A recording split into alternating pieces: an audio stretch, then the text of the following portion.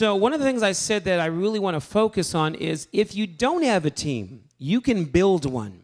In fact, we're going to be giving you some options when Pastor Abed uh, does our Q&A with us. We're going to actually consider some, uh, share some options that you can consider uh, of things you can do. Either uh, we can come and meet with your team, um, we can come and speak to your church and your team, or we even have a Bible college that we can uh, have you attend if you're local you want to do the drive. They say a church alive is worth the drive. Amen. And how many know for education, you'll drive wherever you got to go to get it? So it's important that you know that. We also are rewriting or writing for the first time our own curriculum. Uh, we've been through a couple different um, courses that we've gone through one degree program and another that is um, for more certificate uh, uh, leadership training. And uh, we were doing uh, a certain course for a couple years. I'll leave the name out. Um, but we're actually writing our own. And that's going to be available through Passionate Pastors to be able to, to even have something like that at your church or to be trained here. So we, we're actually pushing back our fall semester to January and kind of start in, in uh, after winter into going towards spring. So we're actually taking our Bible college students, and under, uh, under my leadership, we're going to actually be meeting week after week, the normal time that they'd be in class for the time that they're not in school. And we're going to be putting together from our own sermons, our own leadership principles, and the things that we normally do here at Destiny, we're going to be putting it together into curriculum that'll be able to raise up leaders, not just a year one and year two student, but we're actually adding a third year for internship. And that's something that could be a model that your churches could have not only do you need to teach them, how many know you need to train them? That means they need to be trained right alongside you and see what you do. So when we talk about uh, preaching, I have a, a, a, statement that I've been saying the last few days, and I think you could probably uh, uh, take this into your own life. If you try to preach everything, they won't leave with anything. In other words, you can't preach everything in every sermon. I mean, I know you want to get them there, so you want attendance. I know you want them to tithe because you need to pay the bills. I understand that you want leaders, so you want to speak to volunteers. I understand you want people healed, so you preach on healing. You want people saved, so you have that altar call. You try to get them saved every single week, and the same people keep getting saved every single week. But you can't do everything all the time. So if you try to preach everything, they leave, they don't leave with anything because there's too much to process. And really, people are like children at heart. We enter the kingdom as little children. That means we learn. The prophet said in Isaiah 28 line upon line, precept upon precept, here a little, there a little. It's interesting. In Hebrew, it's a nursery rhyme. It's actually savla sav, savla sav, kavla kav, kavla kav, ze'er sham, ze'er sham. And is literally patterned poetically like a nursery rhyme because what he's saying is, you're about to go to Babylon and learn from another language, a tongue you don't understand, because when I spoke to you in your own language, you wouldn't listen. So you're going to have to be quickly drawn from the breasts, weaned from the milk, because the Torah was milk to the rabbis. And so when a babe desires the sincere milk of the word, he's actually starting with the first principles of the oracles of God, which is the books of Moses. And so Genesis to Deuteronomy are the five books that Jesus grew up with as a child. It's the same five books that Timothy learned from. That when you were a child, Timothy, you learned the principles of the Torah. Then they would learn the prophets, and the prophets would start all the way from Joshua the book right after Deuteronomy, go all the way to Malachi as the second section of the, of the, of the Old Testament, or what they call the Hebrew Scriptures. The third, third section is called the writings. Josephus called them the royal writings, and they start with the book of Psalms. Do you remember when Jesus resurrected from the dead? He said on that road to Emmaus, he told them, Well, didn't you read in the law and in the prophets and in the Psalms and it says he started with Moses, meaning the Torah. He moved on to the prophets, and then he began to break down the scriptures, scriptura, which means writings. And so these three sections of the Old Testament are still the same three sections that the Jews teach now from childhood to adulthood. The problem is most Christians don't even know their Old Testament. So what they have is a quarter of their Bible that they're learning to live off a diet that is limited to sweets and desserts. If you let a kid pick their meal, they will go for the sugar every time. So we're preaching the sweetness of Jesus, but we haven't given them the milk that lets them grow into Jesus.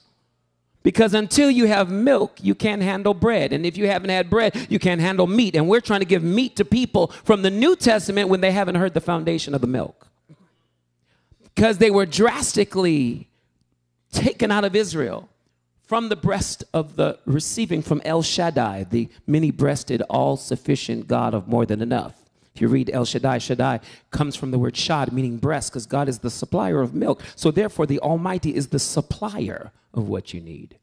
And so this concept of milk is essential in Jewish thought. And it's essential in first century model Christianity because the, the first Christians were Jews. So therefore, when you think the mind of Christ, you got to put on your spiritual yarmulke and think like a Jew. Doesn't mean you have to be Jewish. It means you have to think like a Jew. Because when in Rome, you do as the Romans. When in Egypt, you're going to work like a Hebrew slave. But when you're in the promised land, we're free to be who we're meant to be. Amen. That's the redeemed, the called out. How many know Israel is the model for the church? Zion, we, we call churches Zion. That's Jerusalem. Read your Bible. And so when you actually preach the word of God, you got to be selective what you give them. Give them milk before you try to get them to digest meat. Eventually, all of you ought to be teachers, Hebrews says. And guess what? If not, you got to go back to drinking milk because you got to go with the first principles because you can't build a house without building a foundation. So, four things that we consider to be preaching principles. Preaching principles You'll see that on the page after differentiate fallow ground from fertile soil. Did I give you that point? Differentiate fallow ground from fertile soil. So there we have four lines. Number one, the first thing you want any preacher, including the lead pastor, to be is anointed. Say anointed. Anointed means that you know how to speak to the spirit of a man. Because until you speak to the spirit of a man, you can't change their mind until you change their spirit.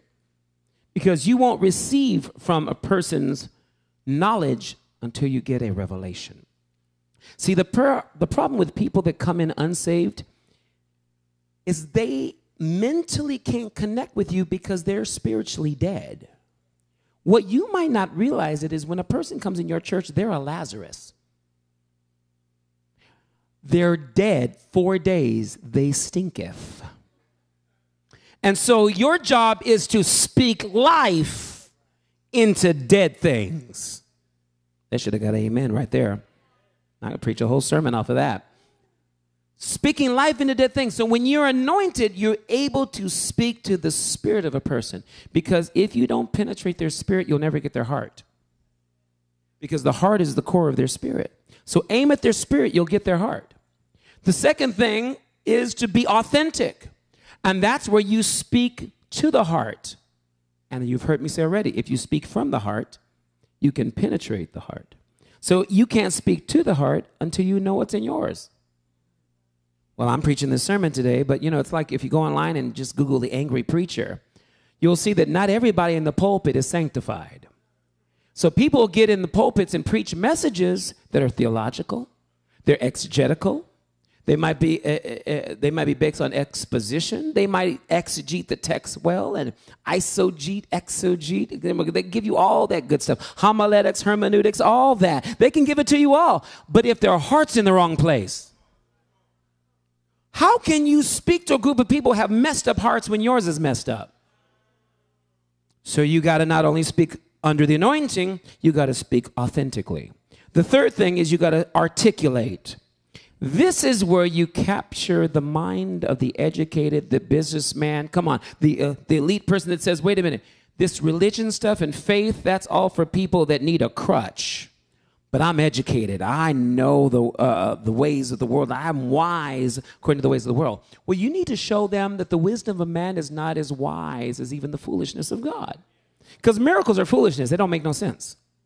But when your miracle makes more sense makes more sense than what they learned in the world, then all of a sudden the mess becomes the message.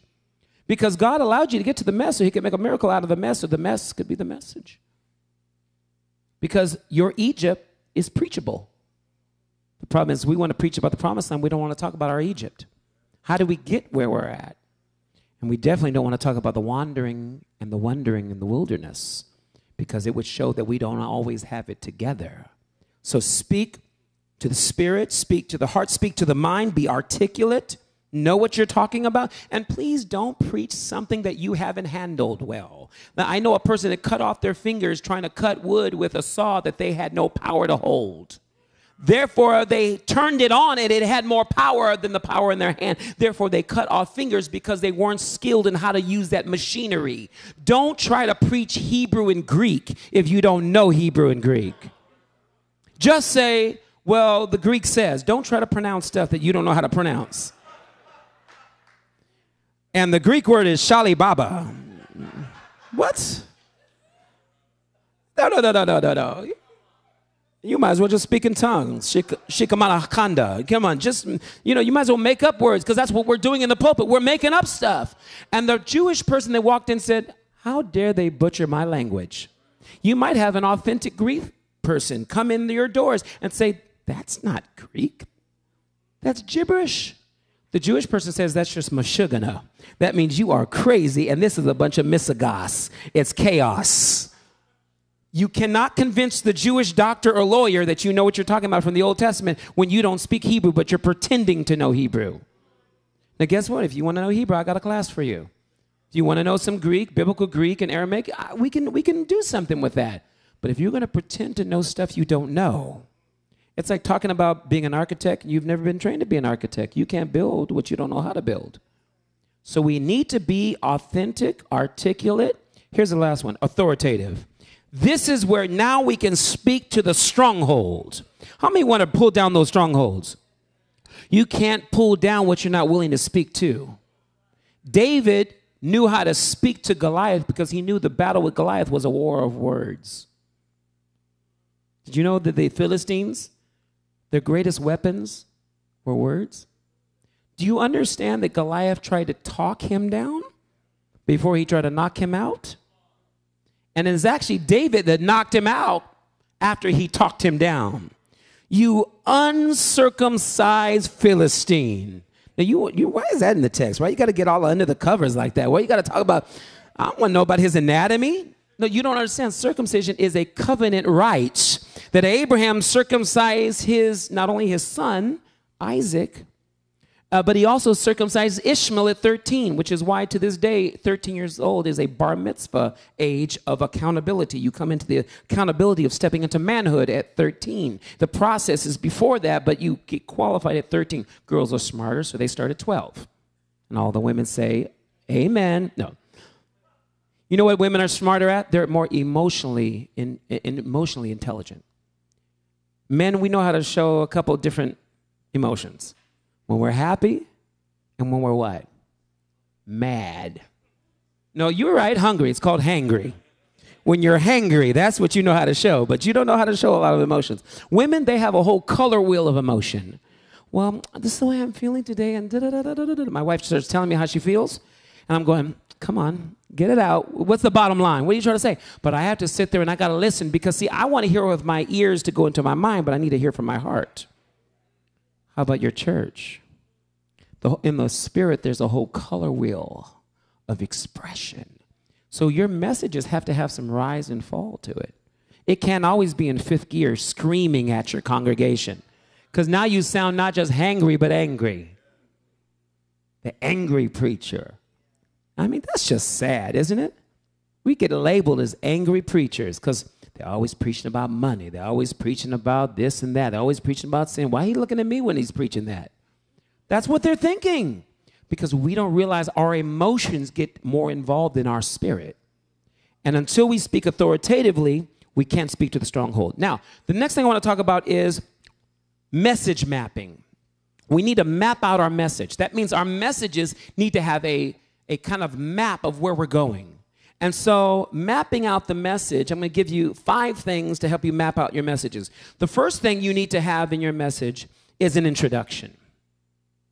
The worst thing is to hear a preacher get up and just in fifth gear start preaching like they're Superman, like jumping on tables like you're Tom Cruise or couches, whatever he did.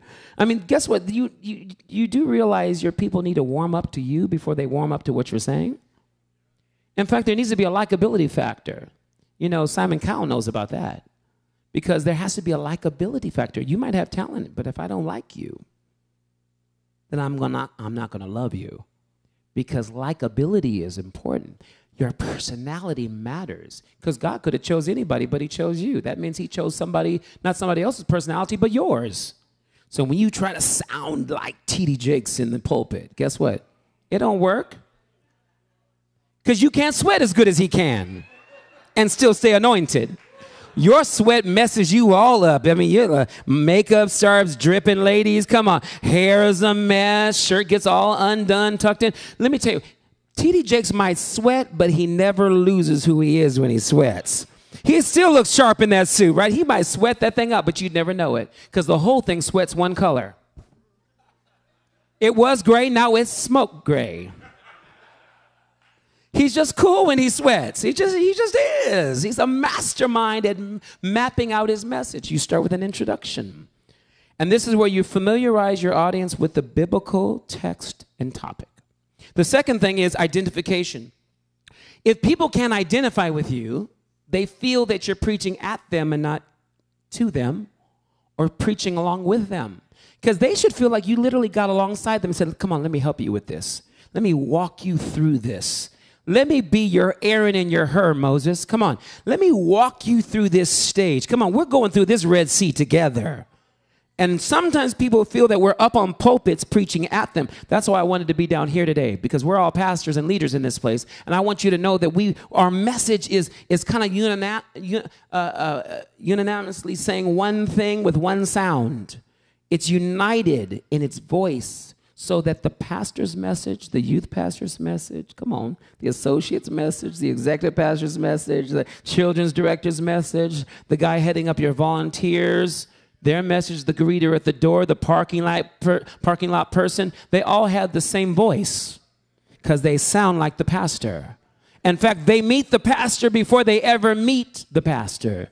They meet him through the people that are serving in your ministry. So, what if your messages can communicate like we're talking together, like it's a family talk? You know, you ever have a family meeting, get everybody in on the same page. The, the third thing is illumination. This is where we take your vision, what you heard from God, and we take it to enlighten revelation. Because, see, the eyes of my understanding have, be, have to be enlightened through the spirit of wisdom and revelation. You got it, but did they get it? Okay. Uh, number five, uh, four is implementation. Implementation, this is putting the plan into action. Your messages should give them steps of action, probably through your points. Point one should lead to point two, should lead to point three. Don't make me take a leap of faith because it made no sense going from that verse to that one because there's no connection, there's no gradual progression. How did you go there, preacher? You lost me at hello. You got to allow people to follow step by step so that you're leading them. And the last one is inspiration. This is where our goal is to inspire people, stimulating in them a strategy for success. Because you want them to win or, or you want to look good so that you look better and they look worse. What's your goal? Well, when I'm praying and when I'm praising and when I'm doing this and that and all this stuff, what happens is you sound better but they never get better because you sound like you're here and they should all from down there come up to your level. When instead you should be coming down to their level and say, Let's go up the mountain together, Joshua. Now, you might stop at your leadership. You can go halfway up the mountain. But Joshua, you're further along than the people. They're at the base of the mountain. Did you ever think about the base of the mountain? That's the outer court. Did you ever think about Joshua? He's in the holy place. But the cleft of the rock is the Holy of Holies. He that dwelleth in the secret place of the Most High God shall abide under the shadow of the Almighty. That's the vision. But what if you could get the vision down to the people? So now there's application. That is where the real challenge begins. So I'm going to share with you that there are nine things that you could possibly use um, in your leadership. You're just going to write these in your notes, but we're going to make this available to you along with a resource I'm about to go over in the next couple of minutes. And it's um, one on a certain topic. I'm going to give you topics. I'm going to yell them out to you quickly. Nine things. Just write it down. Number one, family. Somewhere in your year, you should take a cycle of harvesting your crops, and one of the crops you should harvest is healthy families. That might include marriage, parenting, blended families, family roles, goals. Number two, you're going to have to talk about relationships if you talk about family. Because how many know families are built on a relationship? So in relationships, you might talk about friendship, fellowship, dating, purity, soulmates, soul ties. It's all under relationships. That should be one of your sermon series for the year. Think of it on a year's basis. Nine things over 12 months, stretching out maybe some things you want to talk about two months or, or six weeks long. Or you might have some tweener messages in between, three sermons. But nonetheless, these nine topics. The third one, the one we're going to talk about today, is leadership. You could talk about vision, mission, influence, mentorship, discipleship. All of these things are part of leadership. The other things we won't touch today, but you'll talk about finances. How about worship? How about prayer? You should always have a series somewhere in your year about prayer because prayer, if it's a house of prayer for all nations, you should be a church that prays. And you got to teach them how to pray. Jesus, teach us how to pray. And then after prayer, maybe there's evangelism. You got to have some outreach in your church, witnessing, how to invite. Here's a big topic. We always preach this one a lot theology. Now, if you do a series on the Holy Spirit, that's theology. If you do a series on faith, that's theology. If you talk about the attributes of God, that's theology. If you talk about sanctification, that's theology. But you can't preach theology all the time because you're not preaching to Bible college students. You're preaching to people that hurt, that come in looking for a band aid when they really need an operation. Mm hmm. Yeah, yeah. Number nine, spiritual growth. Now, this can deal with more than theology, but real personal spiritual growth. It starts with salvation, it continues with healing, it might deal with health, it can deal with deliverance. It can also talk about personal faith in the life of that person or personal devotional life. How about repentance? We don't preach repentance anymore. So these are the nine things you could cover.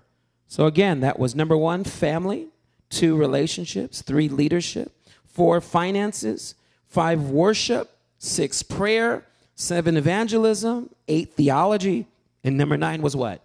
Spiritual growth. Now, that, that's kind of one of the areas that I cover spiritual growth. So I had to really stretch myself when Pastor Abed said, hey, it's time for one of our leadership goal series. I said, leadership goal series. Well, what he was doing was thinking of every single time he had preached on leadership, and he's put it in his own brain together as a leadership goal series. I said, I didn't even know we had a leadership goal series. But guess what? I finally realized when he began to re- review, well, remember what we did last year on leadership? Oh, that's right. Remember, what we did the year before? Oh, that's right. Last the previous years we did do leadership. How I many know in your church you should always have a sermon series on leadership? Or you'll never have any leaders. You'll just have followers. So leadership just summer of 2014, we put together a series called Pencils. We're going to make this available to you. Uh, if you can go on Facebook and, and like Passionate Pastors, and uh, you can do the same thing with Twitter and Instagram and those kind of things. Uh, like us on Facebook, especially, we will make this resource available to you.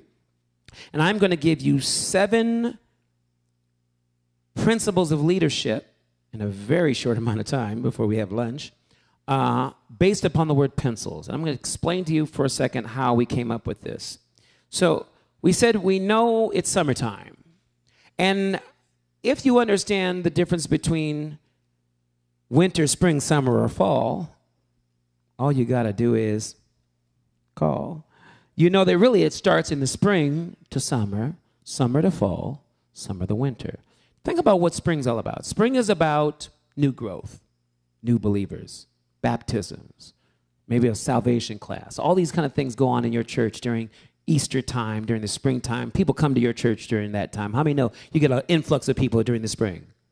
Now you got all these spiritual babies. What are you going to do in the summertime when they're running around and looking for activities? You give them summer programs. You get them involved in the church. You have all kinds of levels of, of things that they can get involved with in the summer season. There's an increase, spiritual growth, fruitfulness. There's the, the harvest coming in. There's a time for enlightenment and refreshing because you know people get thirsty in the summer, especially when you're in the desert. So you need messages that are refreshing in summertime.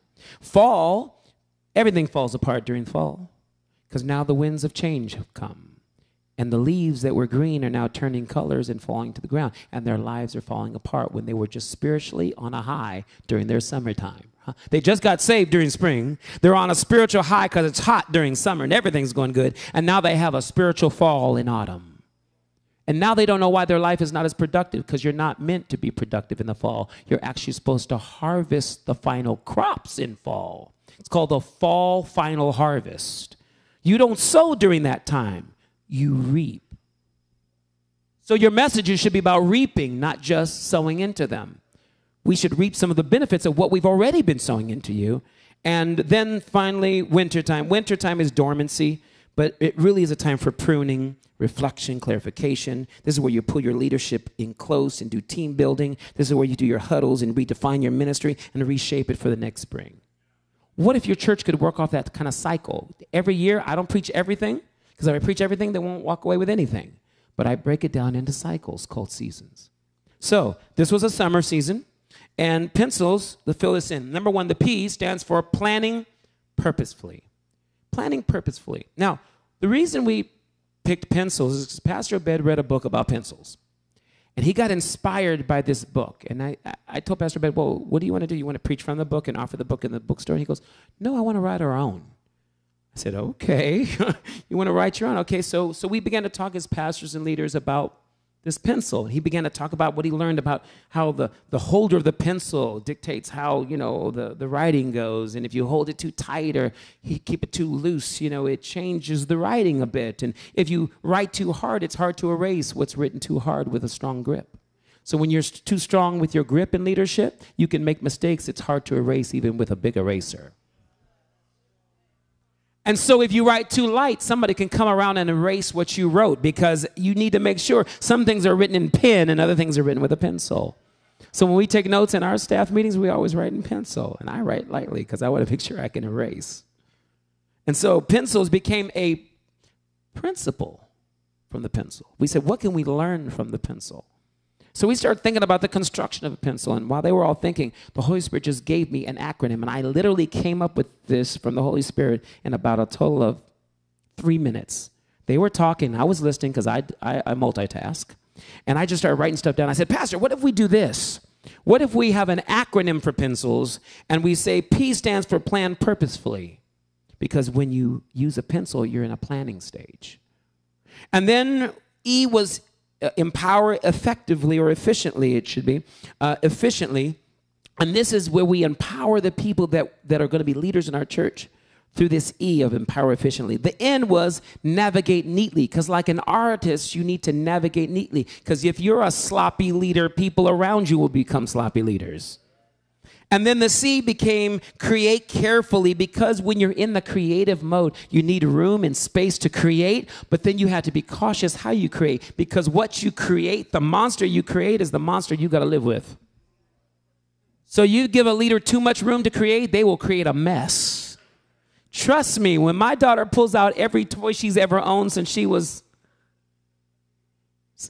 18 months, Guess what? In seconds, the maid just left and it's chaos because everything's pulled out, everything's on the floor. It's clean, but it's a mess. Sometimes our ministries are clean, but they're still a mess. Well, I got all the sin out of my church. Yeah, you got the sin out, but your leaders are a mess. Because they don't know how to lead because you never taught them, because you were too busy getting the, the sin out. What you did is ripped out the tare along with the wheat, and therefore the leader that was growing like wheat is ripped out because you were too busy trying to get the sin out the camp. You didn't teach them leadership. Leadership creates carefully. In fact, they say the only time to really get weeds out, other than plucking them when the soil is moist, is the time when you're plowing and turning over the first one or two inches of layer of soil before you sow you actually do with those systems of weeds before you sow. Because if you sow into weeds, you got to grow with the weeds. So, better to sift the soil or to turn it over or break up the fallow ground and find the root system of weeds early before you sow. Because once you sow, now you got to leave it to the final harvest. They got to grow up along with the system that you created. You let that leader get, be in charge. You put him in position. Come on, we trained bin Laden. Uh, let me leave it alone. Number, uh, the next one, I, is for influence ingeniously. This is where you have to be strategic on how you're going to influence people because leadership, we learn here, is influence. And when you lack in leadership, you lose your influence. Most highest commodity in a leader is having influence. The L stands for lead lavishly. That means if you're going to lead, lead lavishly. Do it all the way. Don't give half of your heart, give all of your heart to God.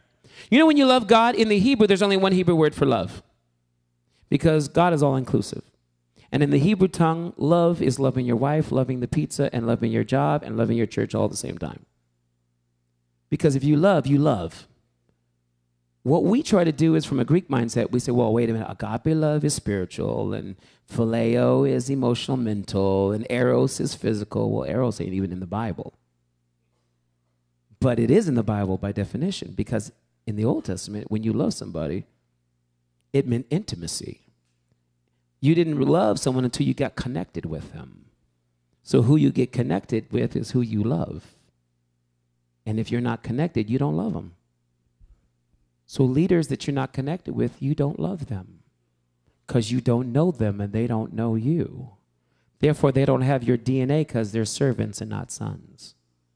They serve in your ministry, but they never took on sonship in your ministry. We got to get them out of the slavery of being slaves and servants to actually being around you enough to be nurtured by you as sons. Because then when they get your DNA and character, in your absence, they still act like you as if they were you without trying to be you. They're not trying to replace you. They want to follow in the honor of their father and honor their spiritual father and mother because of that. So the last one is really what that leads to is they'll serve strategically. So serving strategically, that means you don't put people in position because of need. You put them not in just because there's an empty space. You put them based upon their gifting, their character, and their season. They're going to be a great leader in the next season, but right now it's time to prune. If you don't prune in winter, you won't have good flowers in spring. You might have good flowers, but let me tell you, one time I had a rose bush that was planted around the corner of my front door, and the sunlight would always hit the front door. And the rose bush was no longer being pruned by the gardener because the, the person that was supposed to be pruning it, uh, they were fired, and someone overlooked the, uh, the, the, the, pruning of the tree, and they said, well, it's growing fine, it'd be okay. Guess what? One branch began to grow all the way around the corner of the house and began to grow like it was growing towards the door, like it tried to get inside the door. Do you know why that was? It was growing towards the light. People grow better in light than they do in darkness. So when the tree was being neglected, it's going to go where it can grow because you don't grow until you go. And if we don't let people go, they won't grow. That sometimes means they don't belong in your church. Are you willing to let them go so they can grow? Because if they're meant to be planted, they'll stay. And so what you realize is the only way to control the shape of a bush or a tree is to prune it back because less is always more. Not giving them more responsibility, cutting them back. In fact, if your leader is not okay with not preaching every once in a while, your preacher, your, your young pa- youth pastor, or your youth leader, or, or your executive pastor can't be okay with not preaching all the time in your absence, there's a leadership problem.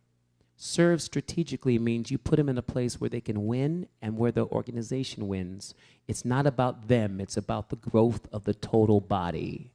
So place people where they can win, where you can win, and everybody wins without there being a weak link. Okay? So this is uh, the, the last thing I want to share is just why we picked pencils.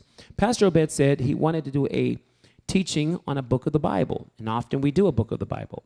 Right now we're in a series called Trippin', where we're actually taking them on Route 66 through 66 books of the Bible, but we're only taking them to 18 locations.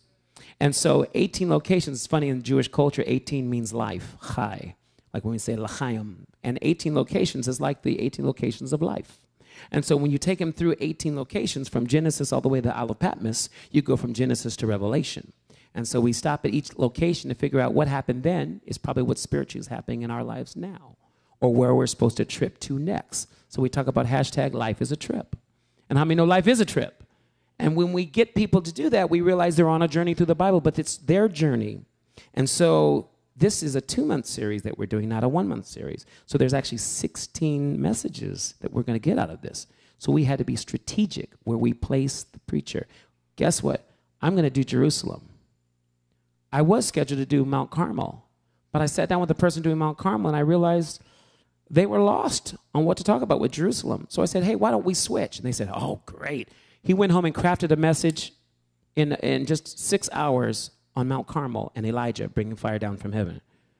But for him, Jerusalem was too vast, too big, too much information. I said, I'll take Jerusalem. I'll be okay with that. I can show my pictures in Israel. I can do this. I can do that. So, all these things I can do with it. And I thought I was better suited to preach that message. So people need to serve strategically in an area where they're gifted, where they're called, where they feel fulfilled. And your preaching needs to be the same way. Your preaching needs to, through a series, go step by step on what is going to lead them to your end result of what you want to see happen. So the first question I asked Pastor Obed when he says, I want to do this, I said, well, What's your end goal, Pastor? What's your outcome? What do you want to see happen? Where do you want to take the people? Because then I can go backwards and craft it as far as research. And the reason I do that is because I learned that from God. God declares the end from the beginning. And so he finished what he wanted to do in his mind, and then he worked backwards. And so it's interesting when you read the Torah, you actually read from the opposite side of the book. We roll from right to left. So everything you've ever learned, it's not that it's wrong. But you're going to learn to put the pieces together in a way that makes sense for you, your church, your ministry. So at this time, we're going to take a lunch break. And uh, again, we're going to make pencils available to you. How many would like to get the seven principles of leadership from the book of Philippians from us? All right. How many are going to go on Facebook and hit like? If you haven't done, oh, you said just did. Okay, Jessica. There, look at our, our our our marketing girl back there, Jessica Petty. She is the woman behind She's like the Wizard of Oz. She's the one that, you know, the Wizard of Oz, he's the little guy behind the, the big, big voice. Well, sometimes us big voices on the stage, she's the woman that makes sure all the marketing matches our model, our structure, our brand, so that destiny stays destiny. How many know we're not trying to change your church, but we want to better your church? We want to grow you as pastors. Amen?